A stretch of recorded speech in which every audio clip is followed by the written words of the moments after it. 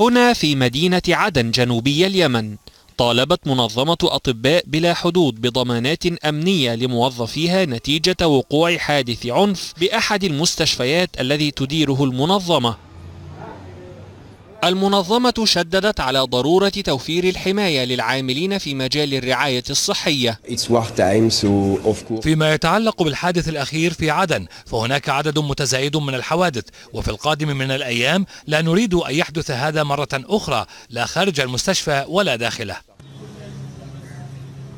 وأدى قرار عدم استقبال مزيد من الحالات إلى ضيق أهالي عدن الذين دعوا إلى ضرورة فتح المستشفى معتبرينه الواجهة الأساسية في المدينة. الآن أتمنى من السلطات المحلية والسلطات الحكومية أن يتم افتتاح المستشفى والتحقيق بما حصل. والعمل جاري يعني ما نرجع أن يقفلوا المستشفى وما يستقبلوش الجرحى ولا المصابين ولا الناس اللي ما يقدروش يتعالجوا المستشفيات الخاصة اللي هي يعني خرج عليك ملايين.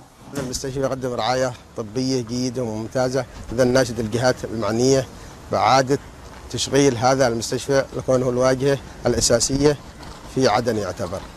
وافتتح مستشفى الصداقة عام 2012 وتقول أطباء بلا حدود إنها عالجت منذ ذلك الحين 30 ألف حالة طوارئ وإن أكثر من خمسة آلاف عملية جراحية أجريت في المستشفى خلال العام الماضي.